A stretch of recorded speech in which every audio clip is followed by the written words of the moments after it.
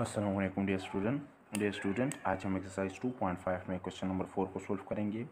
Student question number four में हमारे पास two parts है और हर पार्ट्स में हम क्या करेंगे? डिवीज़न करेंगे। टू कम्प्लेक्स नंबर के बीच में हम क्या करेंगे? डिवीज़न करेंगे। मतलब फ़र्स्ट कम्प्लेक्स नंबर को हम डिवाइड करेंगे सेकेंड कम्प्लेक्स नंबर पर। बेसिकली स्टूडेंट इसी एक्सरसाइज में क्वेश्चन नंबर फ़र्स्ट में हम, हमने सीखा हुआ था कि हम किस तरह टू कम्प्लेक्स नंबर को ऐड करते हैं। फिर क्वेश्चन नंबर सेकंड में हमने सब्ट्रैक्शन सीखा हुआ था। क्वेश्चन नंबर थर्ड में हम किस तरह टू कम्प्लेक्स नंबर को मल्टीप्लाई करते हैं। आज हम सीखने जा रहे हैं कि हम टू कम्प्लेक्स नंबर को आपस में किस तरह डिवाइड करेंगे। तो बढ़ते स्टूडेंट सोल्यूशन की तरफ़।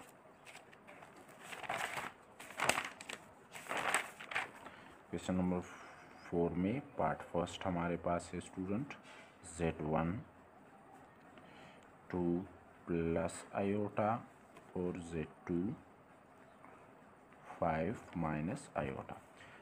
Student कह रहे divide the first complex number by the second one कह रहे कि फ़र्स्ट कम्प्लेक्स नंबर को डिवाइड कर ले किस पर? सेकेंड पर। बढ़ते सोल्यूशन की तरफ़। क्या करेंगे स्टूडेंट?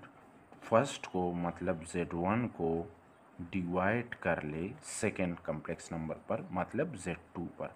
कह रहे कि फ़र्स्ट को डिवाइड कर ले सेकेंड पर। तो मैंने Z one divide by Z two लिख लिया। जेड वन मेरे पास क्या स्टूडेंट टू प्लस आयोटा इस तरह मेरे पास जेड टू के student five minus iota student first complex number को मैंने सेकंड पर डिवाइड कर लिया। अभी हम आगे क्या करेंगे? डिवीज़न करेंगे। क्वेश्चन हमारे पास है फाइव टू प्लस आयोटा और फाइव माइनस आयोटा अच्छा स्टूडेंट क्या करेंगे? फ़र्स्ट को हम सेकेंड पर डिवाइड करेंगे। स्टूडेंट हम यहाँ पर क्या करेंगे। हमारे पास डिनोमिनेटर में फाइव माइनस आयोटा है तो क्या करेंगे? यहाँ पर लिख ले मल्टीप्लाई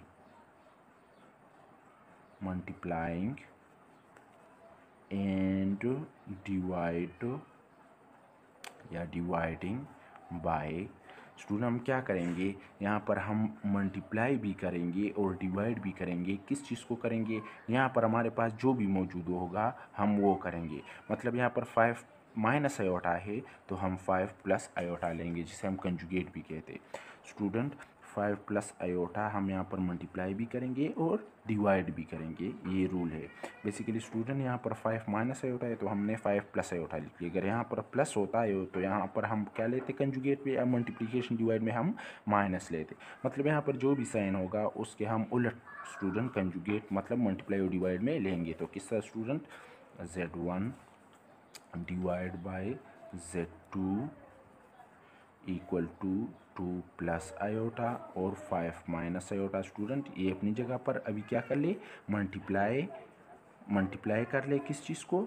फाइव प्लस आयोटा को और डिवाइड भी कर ले फाइव प्लस आयोटा को। स्टूडेंट सबसे मेन जो स्टेप था हमारे पास, ये था। हम इसी डिवीज़न में क्वेश्चन भी इसी तरह अपनी जगह पर लिख लेंगे, लेकिन नीचे जो भी होगा, उसके उलट यहाँ पर मतलब फाइव माइनस आयोटा है तो फाइव प्लस मल्टीप्लिकेशन में लिख ले और फाइव प्लस डिवीज़न में भी लिख ले। अगेन इसको कैंसिल कर ले, वापस हमारे पास यही आ जाएगा। तो स्टूडेंट जो मेन स्टेप होता है डिवीज़न में हमारे पास कम्प्लेक्स नंबर के वहाँ पर हम क्या लेते?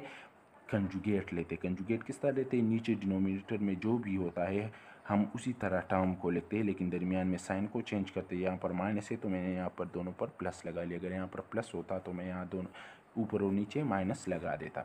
अच्छा स्टूडेंट क्या करेंगे? Z one divide by Z two equal to यहाँ पर देख ले स्टूडेंट मल्टीप्लिकेशन है। मतलब two plus iota multiply five plus iota student नीचे भी क्या है? मल्टीप्लिकेशन है। फाइव माइनस आयोटा और five plus iota student multiplication आप लोगों ने सीखा हुआ है कि हम किस तरह टू कॉम्प्लेक्स नंबर को आप इसमें मल्टीप्लाई करेंगे, जो कि आप ऑलरेडी क्वेश्चन नंबर थर्ड में सीख चुके अच्छा टू को इसके साथ तो फाइव प्लस आयोटा इस तरह प्लस आयोटा लिख ले।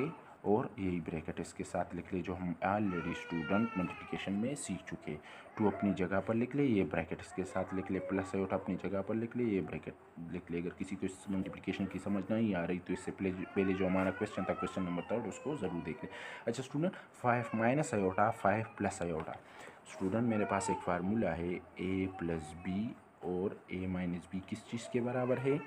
अगर ए और बी के बीच में एक दफ़ा प्लस और ए और बी के बीच में एक दफ़ा माइनस हो, अगर उनके बीच में मल्टीप्लिकेशन का रिलेशन हो मतलब ये मल्टीप्लाई प्लस माइनस नहीं मल्टीप्लाई का रिलेशन तो ए पर स्क्वायर ले ले और माइनस दरमियान में डाल ले और बी पर स्क्वायर ले ले। अगर हम इन दोनों को मल्टीप्लाई कर ले तो हमारे पास आंसर क्या आएगा? ये आएगा स्टूडेंट ये हमारे पास एक फार्मूला है A square minus B square किसके बराबर है? A plus B A minus B इस तरह स्टूडेंट फाइव माइनस आयोटा मतलब ए माइनस आयो ए माइनस बी और ए प्लस बी, ये किसके बराबर है? ए स्क्वेयर मतलब ट्वेंटी फाइव स्क्वेयर, माइनस अपनी जगह पर फार्मूले वाला और आयोटा स्क्वेयर।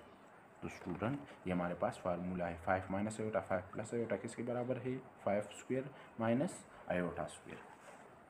अच्छा student Z one divide by Z two अच्छा स्टूडेंट टू को फाइव के साथ कर ले टेन आ जाएगा। टू को आयोटा के साथ साथ कर ले प्लस टू आयोटा आ जाएगा। आयोटा को फाइव के साथ कर ले प्लस फाइव आयोटा आ जाएगा। आयोटा को आयोटा के साथ कर ले तो प्लस आयोटा स्क्वेयर आ जाएगा। इस स्टूडेंट फाइव स्क्वेयर तो ट्वेंटी फाइव आ जाएगा माइनस आयोटा स्क्वेयर आ जाएगा।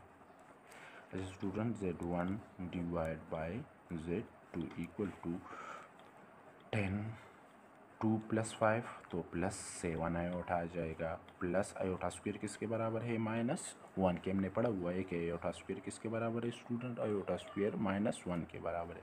Divide by twenty five minus iota square किसके बराबर है, स्टूडेंट? माइनस वन के बराबर है। अच्छा student, Z one divide by Z two equal to ten minus one तो नाइन प्लस सेवन आयोटा आ जाएगा student divide by twenty five minus minus plus one आ जाएगा स्टूडेंट। ठीक है, स्टूडेंट हमारे पास Z one divide by Z two equal to nine plus seven iota divide by twenty one plus twenty five plus one तो twenty six आ जाएगा। तो जो हमारे पास रिक्वायर्ड आंसर होगा जेड वन अगर हम जेड वन को जेड टू पर डिवाइड कर ले तो नाइन के नीचे भी ट्वेंटी सिक्स लिख ले स्टूडेंट प्लस और सेवन अयोटा के नीचे भी ट्वेंटी सिक्स लिख ले जो हमारे पास रिक्वायर्ड आंसर होगा।